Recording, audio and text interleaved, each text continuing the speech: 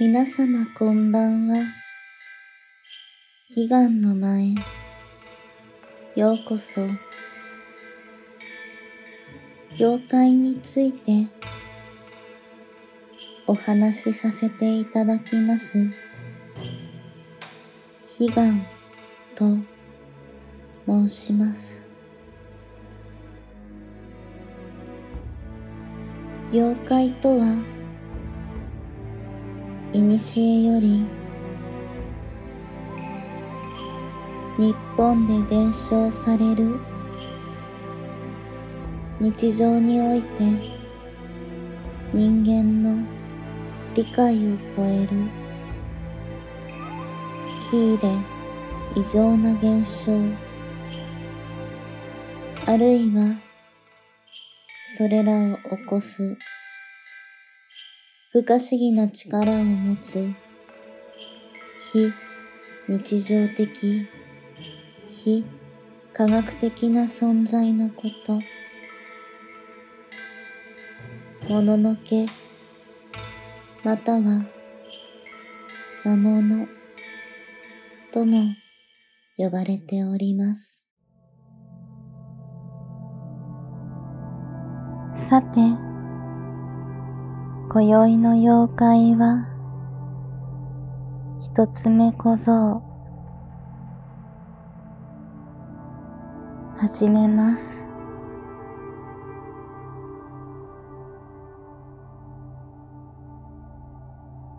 あるところに、大層臆病者な少年がおりました。少年は夜明けのカラスの声や隙間から吹き込む風の音そんな些細なものに怯え夜中に一人で川屋へ行くこともできずその臆病で弱気な性格を叩き直すため、両親に連れられ、いやいやながら寺へ修行に行くことになったそうです。少年の両親は、住職に事の経緯を話し、息子をお願いいたします。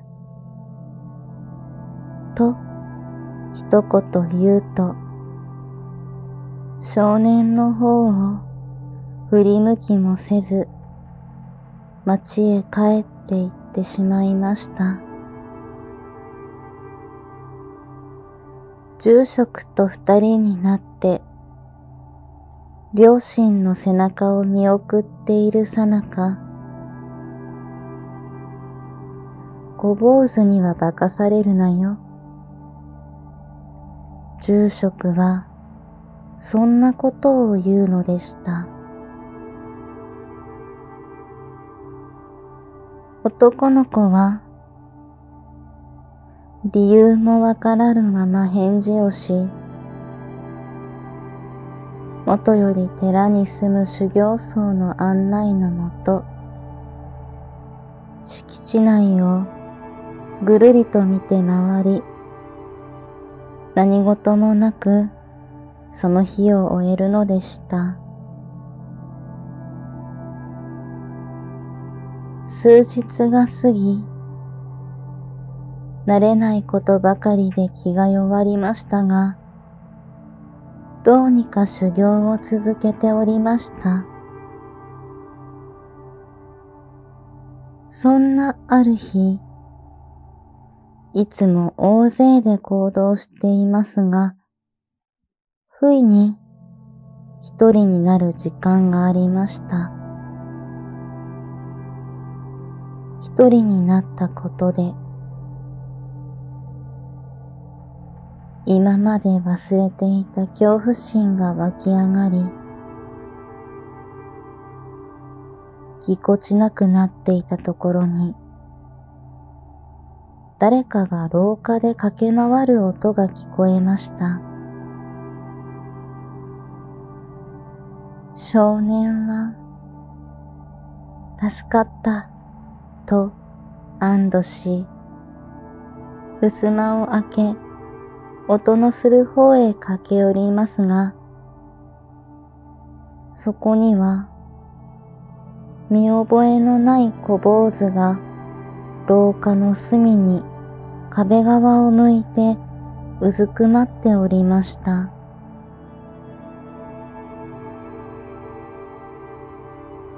少年は隅にうずくまる自身よりも年派もいかない小坊主に少しばかり得意げに話しかけました。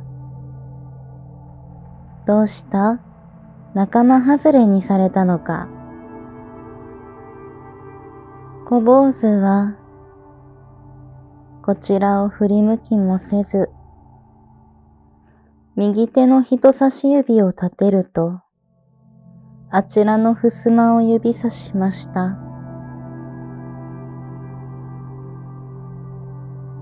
襖の方に身を向けると、その瞬間、他の修行僧に大きな声で名前を呼ばれ、少し飛び上がりました。早くなる鼓動を抑え、呼びかけられた方へ向かうと、振り返った時には、小坊主の姿はありませんでした。数日が過ぎ、修行にも慣れ、初めて寺を訪れた時には、うつむいてばかりだった少年が、今では胸を張り、はきはきと話すようになっておりました。そんなある夜、用を足しに一人で川屋に向かっている時、誰かが駆け回る音が聞こえたのでした。こんな夜分に何事だろう、と思いますが、強くなった少年には、そのくらい平気でした。気にせず用を足し、部屋に戻る途中、何やら廊下の隅で月明かりにうっすら照らされるあの時の小坊主が見えたそうです。少年はありし日の自分の背中を見るようで微笑ましくなり、小坊主のもとへ歩み寄ると、小坊主が言いました。ずっと待ってたよ。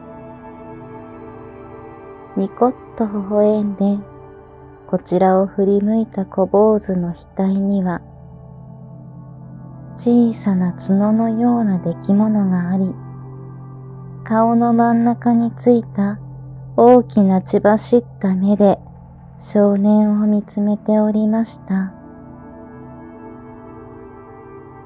少年は叫び声を上げ、その場でうずくまりました。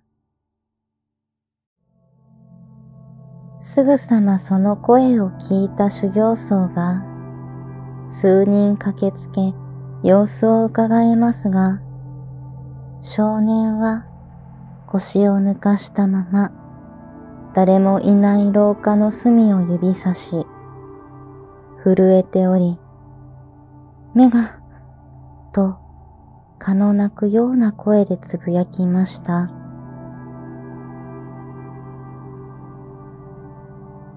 修行僧たちは顔を見合わせ、小坊主に化かされたな、と大笑いするのでした。修行僧たちに、あれは害をなさないから、狸が化けているだけだ、と励まされ、床につき、夜が明けると住職のところへ行き、昨晩の出来事を話しました。住職は、小坊主は気にかけたり構ったりすると脅かしてくるのだ、と言って笑っておりました。それからというものの、少年は足音や小坊主を見ても気にかけず、修行に専念しました。そして、臆病者で弱気な少年は、立派に成長したのでした。修行を終え、両親が迎えに来る頃には、少年には小坊主の姿が見えなくなっており、両親も少年の成長ぶりを見てとても喜びました。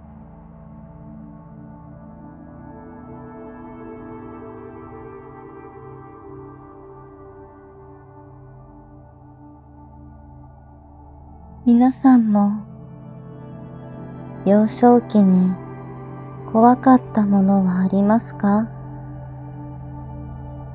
今も怖いですか？私は小さな頃、一人で川屋に行くのが怖くて、デッセンを連れて行っていました。今は一人で川屋に行くのは怖くありません。私が今怖いものは栗まんじゅうです。悲願のお話ご清聴いただきありがとうございます。お気に召しましたらまた遊びに来てくださいね。それでは、さようなら。